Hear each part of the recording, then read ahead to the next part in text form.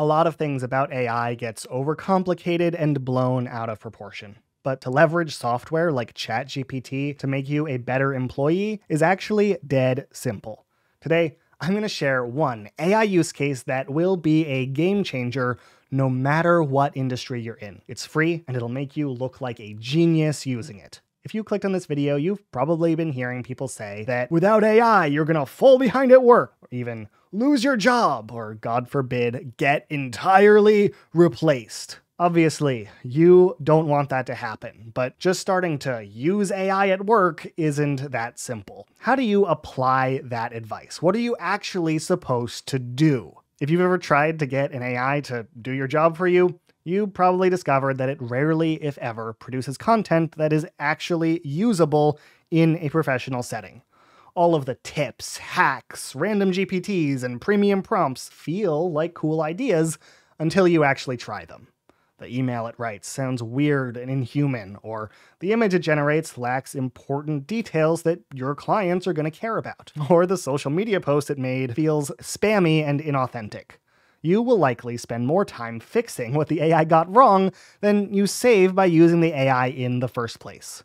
If this happens to you, you are not alone if you're still learning generative AI, finding uses that are reliably valuable in your day to day life is not trivial. But there is one thing that you can build into your workday without being some kind of prompt engineer, and you'll see results at work as soon as tomorrow. And that is have the AI brainstorm questions for you.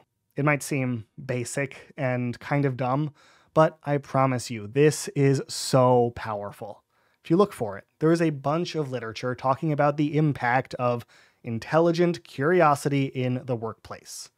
And if ChatGPT can help you become someone who asks the right questions at the right time, well, you might just be destined for the C suite. Let's talk about what this looks like in practice. Let's say you have a meeting coming up at work. It can be about anything. The meeting is important enough that they send out an agenda ahead of time, if that agenda came to you as an email, you can print that email to PDF and upload it to your AI tool of choice. AIs can read PDFs up to thousands and thousands of words now, so this should be no trouble. Now, if we ask ChatGPT to turn that agenda into a list of insightful questions, and if you specify what you do at work, the AI can readily supply you with what someone in your role should be making sure of and asking. This is the sort of task that generative AI thrives at. To do this yourself, I made a custom GPT and put a link in the description so you don't need to write a prompt, but this will work and is easy to pull off no matter which AI model you're using.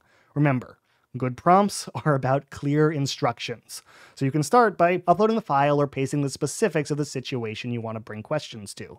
Then, ask the GPT to summarize what it understands about your situation, and finally ask it for 10 critical questions that someone in your role should be considering.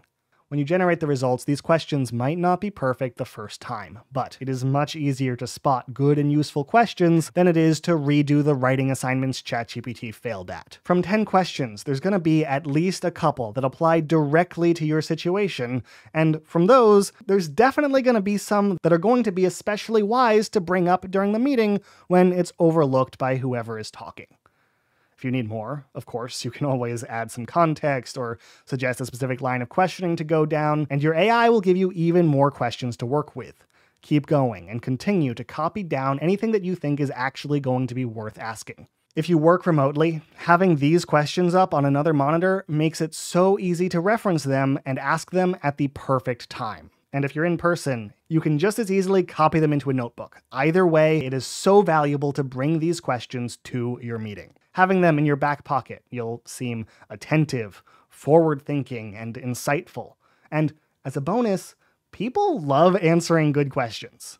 If a team worked hard and is presenting their results, the person who asks a great question is the person who makes them feel seen. While at the same time, asking about something that hasn't yet been considered can really get your company out of a pickle. If you ask, what if X happens and causes Y? Before that very thing happens, you can save people at your company from a lot of embarrassment. And this is no risk. If your questions get answered before you ask them, great. Check them off the list and make a note for yourself. But more often than not, doing this will mean you're more prepared than anyone else. And once you've done this and have your questions to reference, make sure you speak up and ask your questions because I promise you, your diligence and this preparation will be noticed and will lead to results. And this doesn't just apply to the meetings you have to sit through. You can generate questions based on your own presentations to make sure you've covered everything you need to. You can paste in a job description and bring your questions to the interview you're about to have. Or if you get some negative feedback at work, arming yourself with a list of questions from an unbiased perspective can help you turn that into a real growth moment and make you seem like a true team player. Also, you don't even need to ask the questions you get to a person. I have done great preparation by taking questions like these and plugging them right back into ChatGPT to get the answers, and I got information about things I had never thought of before. So, I challenge you to give this a try.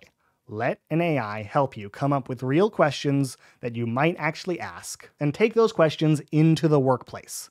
I think you'll find that this simple use of AI will help boost your confidence, your productivity, and even improve your reputation at work. Let me know in the comments how it goes.